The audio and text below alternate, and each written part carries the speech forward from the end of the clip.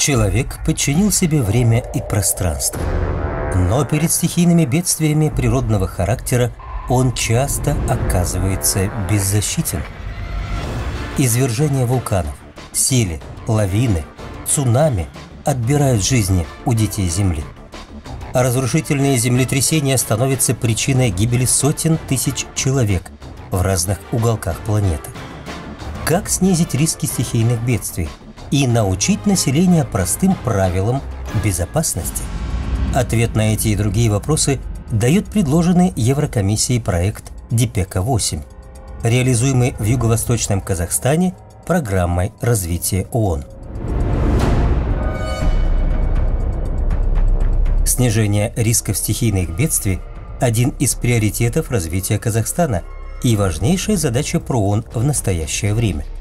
Эта проблема актуальна для значительной части территории республики – Сейсмической опасности подвержена практически одна треть Казахстана. Это город Алматы, Алматинская, Жамбулская, Восточно-Казахстанская, Южно-Казахстанская и Мангостауская области. Э, в данных регионах э, проживает практически 6 миллионов человек и э, сосредоточено около 40% промышленного потенциала страны. Алматы и Алматинская область расположены в предгорьях Заилийского Алатау в зоне высокого сейсмического риска. Ежегодно здесь происходит до 300 землетрясений различной силы. Существует реальная угроза безопасности и городского, и сельского населения, проживающего в городах Талгар, Есик, ближайших аулах и поселках. В красивом поселке Каракимир Янбекши Казахского района с населением около 6 тысяч человек состоялся финальный этап реализации части проекта ДИПЕКа-8 укрепление потенциала противодействия сейсмическим опасностям на уровне городских и сельских сообществ в юго-восточном Казахстане. Участники регионального круглого стола по этой теме с большим интересом изучили экспозицию выставки, развернутой в фойе технического колледжа. Здесь были представлены комплекты для реагирования на чрезвычайные ситуации и другое оборудование – приспособления, принадлежности, которые очень пригодятся в экстремальной обстановке. В первую очередь э, здесь э, исключено использование каких-либо медицинских препаратов. Исключительно идет перевязочный материал для оказания первой помощи. Ходе реализации проекта уже было организовано обучение в ряде школ Янбекши Казахского района по специальной программе. Обладатели сертификатов будут привлекаться в качестве волонтеров. Школы имени Терешкова и Сатпаева – получили комплекты для реагирования на чрезвычайные ситуации. У нас разработана программа, есть тренинг то есть в дальнейшем мы хотим тиражировать это. Стоимость всего этого оборудования невелика, да? Ну, до 100 тысяч тенге идет такой комплект, да? И, то есть каждая школа может, в принципе, в бюджете запланировать такой набор. Подготовка красочных буклетов, памяток, пособий для детей и взрослых помощь волонтеров позволяют проводить тематическое обучение, тренинги, интерактивные игры более эффективно. Мы не будем приглашать составы, мы будем их брать и во все школы Алматинской области, Шимкента, Тараса мы будем, они станут уже волонтерами для проведения вот этих мероприятий, которые научились в Максиме. Открыла совещание Салтанат Рахимбекова, председатель правления Объединения юридических лиц коалиции за зеленую экономику и развития G-Global. В этом форуме приняли участие депутаты Мажилиса парламента Республики Казахстан, представители Министерства образования и науки, Комитета по чрезвычайным ситуациям Министерства внутренних дел Республики, неправительственные организации, завучи по воспитательной работе около 50 школ Янбекши-Казахского и Талгарского районов, региональные органы власти и другие заинтересованные лица. Участников форума поприветствовали депутаты Мажилиса парламента Нурлан Жезлбеков, Мирам Бегентаев и Загипа Балиева, а также Аким района Бинали Искак. Главная цель круглого стола – объединение потенциала государства, бизнеса, гражданского общества для реализации пилотных инициатив по повышению знания и опыта населения, в том числе школьников, студентов, поведении до, во время и после землетрясения. К сожалению, это, это годичный проект. А, в этом году он закроется, но в следующем году, в 2016-2017 годах, программа развития ООН планирует через ряд всех своих остальных проектов тематику чрезвычайных ситуаций, подготовки к чрезвычайным ситуациям поддерживать и дальше ее наращивать. Своими взглядами на проблему и опытом организации обучения, планирования и проведения мероприятий по противодействию сейсмическим рискам поделились другие участники форума. По итогам работы круглого стола были приняты рекомендации. Воспитанники детского дома «Ковчег», учащиеся технического и медицинского колледжей, а также 10 школ из Инбикши Казахского и Талгарского районов приняли участие в форуме «Практикуме», который состоял из трех этапов. Разновозрастное тематическое обучение, интерактивная коллективная игра, тематические мини-учения. В Каракимирской средней школе имени Арымбетова в интерактивной игре участвовало около 125 человек, учащиеся, учителя начальной военной подготовки, представители ЧС, классные руководители, медики.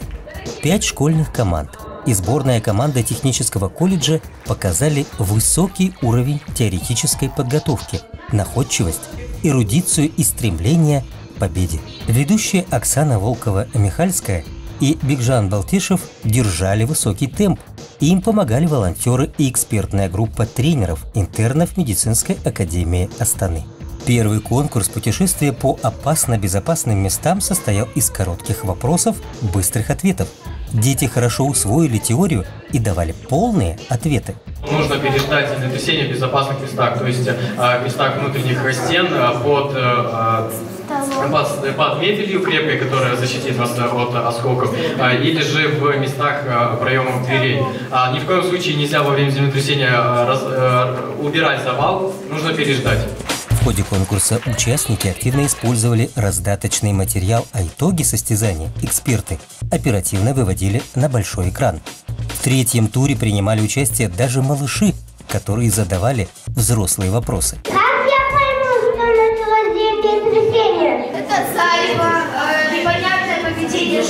Мелкие колебания, толчки, движение каких-либо предметов, искрят провода, гул, Увлекательная игра захватила в зале всех без исключения.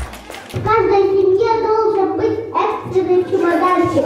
Что вам лежит? В нашем чемодане должны быть документы, принадлежности для жизнеспособности, а, медикаменты, средства гигиены, сменная одежда и фонарики на батарейках.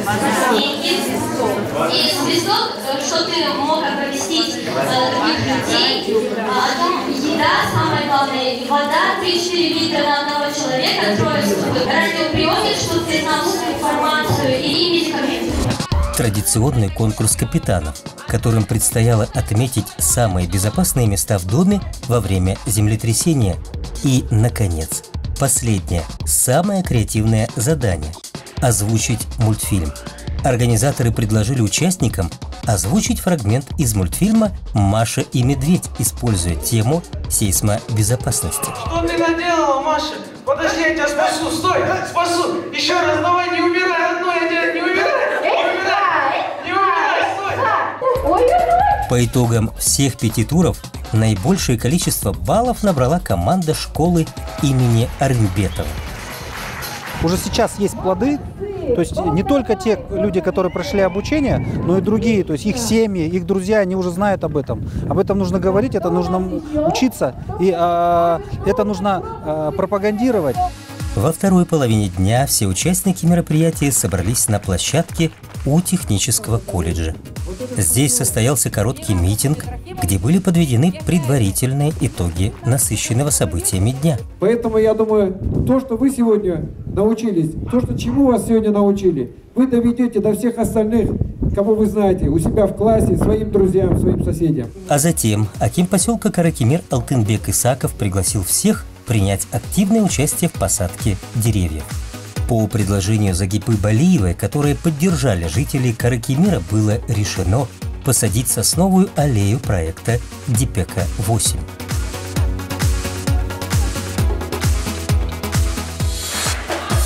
Наиболее интенсивными по темпу и накалу страстей стали мини-учения, которые проходили в спортивном зале колледжа. Здесь отрабатывались смоделированные ситуации – Ребята с учетом полученных знаний должны были вести себя как при настоящем стихийном бедствии. пройти по тропе спасения, преодолевая различные препятствия, оказать первую медицинскую помощь, наложить жгут, сделать перевязку. Команда медиков следила за тем, чтобы все было выполнено правильно. Ребята собирали тревожный чемоданчик, транспортировали условно пострадавших и не заметили, как быстро пролетело время.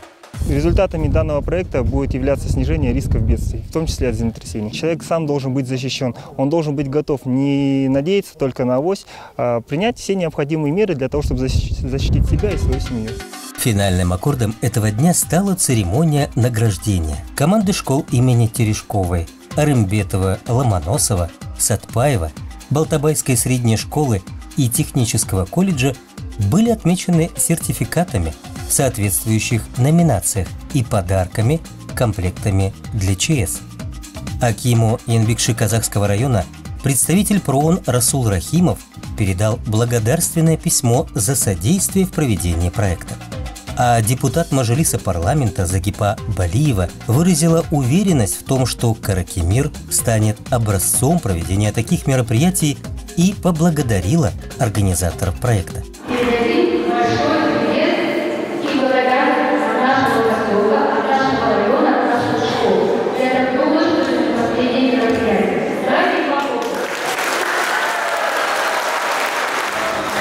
Я прошел гражданскую оборону в советское время. После этого вот в 2009 году прошел 10-дневные курсы, поэтому для меня это ну, э, открытая книга. Но мне всегда удивляло, почему люди многие не знают об этом. Мне всегда удивляло, э, почему, когда что-то случается, все э, ну, теряются. А здесь четко прописано, то есть даже алгоритм действий простым языком в каждой семье, в разных случаях, с кем находится, с бабушкой, с дедушкой, с, один ребенок находится дома, родители на работе или когда вместе. Где его место при такой-то ситуации? Что он должен делать? Если эту ситуацию проиграть, то уже э, человек будет защищен. Если ребенок с юного возраста будет знать, что делать, то я думаю, что э, он заставит и научит родителей.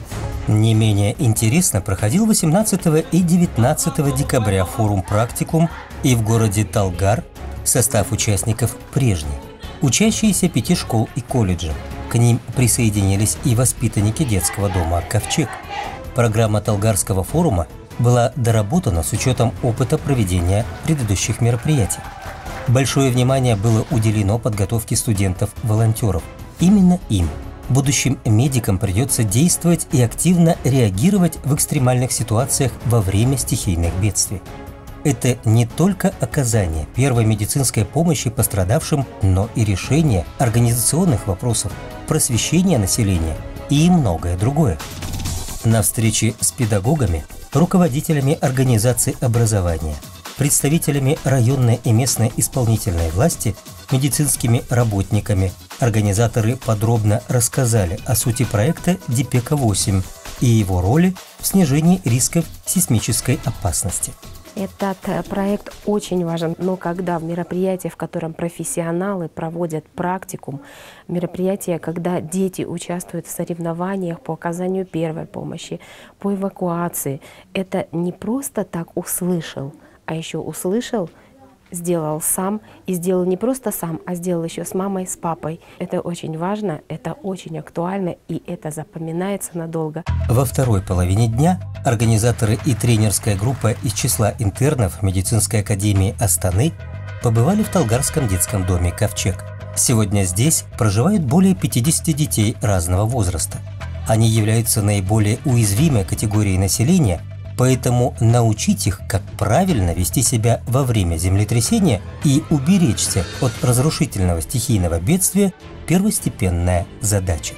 Когда начнется землетрясение, нужно собирать аптечку, брать еду, брать воду и брать одежду. Паниковать нельзя. Нужно взять, спрятаться под стол и голову руками закрыть. Теория. Интерактивная игра – мини-учения дети активно участвовали во всех этапах форума практикума, не только соперничая, но и помогая друг другу.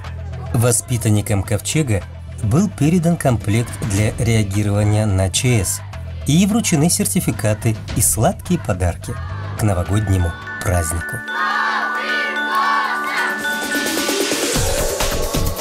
Программа обучения четко ориентирована на возрастные особенности восприятия детей и подростков.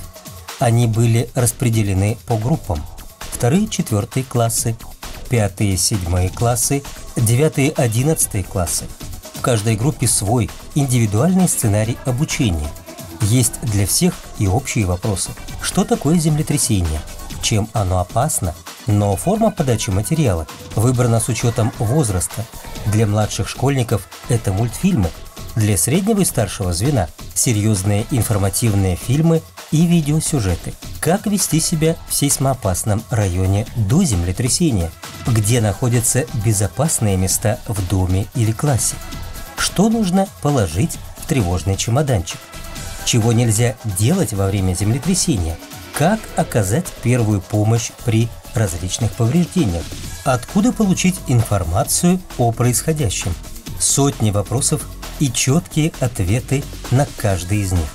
А раздаточные материалы стали наглядным, эффективным дополнением к полученной информации. Усвоенные знания ребята закрепили в ходе интерактивной игры, которая прошла не менее активно, чем в Каракемире.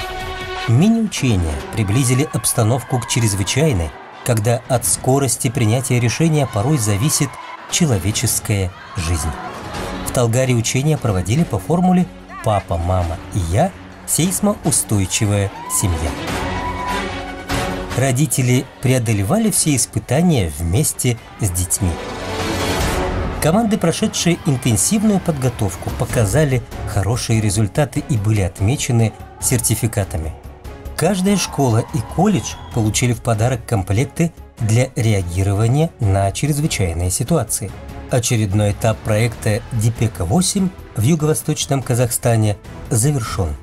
В ходе его реализации подготовлено 100 волонтеров – прошли обучение более 300 детей и взрослых из Инбекши-Казахского и Талгарского районов. Сформирован комплексный подход к созданию системы противодействия сейсмическим рискам. Мы охватили порядка 20 школ в двух районах, а большое количество школьников, подготовлены команды волонтеров – которые распространяют информацию по, подготовкам к земле, по подготовке к землетрясениям среди а, школьников и их родителей. Большим удивлением для меня было то, что а, сами ребята, школьники, а, интересуются этим вопросом, на самом деле очень жаждет такого знания и а, активно принимают участие во время соревнований. А горы? Прекрасные горы со снежными вершинами по-прежнему очаровывают нас – и рождает в душе ощущение тревожного ожидания. Но люди не покидают прекрасных долин, значит им надо научиться жить рядом с горами и уметь защитить себя.